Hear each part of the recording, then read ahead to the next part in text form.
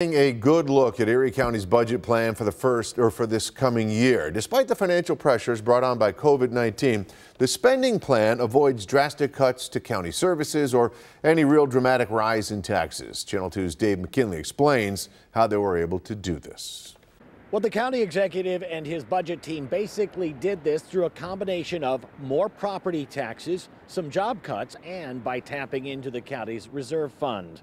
As he stood before reporters to unveil his $1.4 billion budget, Poloncarz through a PowerPoint noted it calls for a slight reduction in the property tax rate to its lowest in 15 years, but at the same time, we are seeing assessment growth.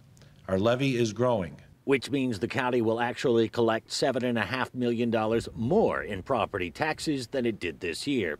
There are 19 layoffs, almost exclusively at the sheriff's office, centered on corrections and tied to bail reform measures that have emptied much of the downtown holding center.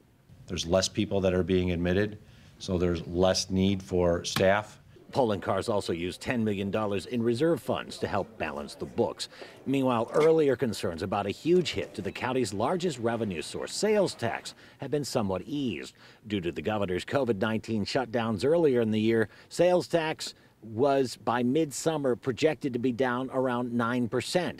But thanks to the recalculation of how much the state owed the county and the now rebounding economy, the picture brightened. We are seeing a reduction of sales tax of 2.3% compared to 2019 meaning the earlier estimated loss of $36 million is now projected to be a more manageable 11 million instead.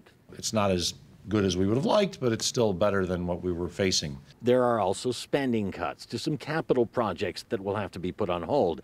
They include a number of road repairs and a project the county executive has championed since he announced it in 2019, ErieNet, a $20 million, 360-mile fiber network aimed to bring high-speed broadband to underserved parts of the county. We're not going to be able to do that because we just don't have the money to do that. Dave McKinley, Channel 2 News.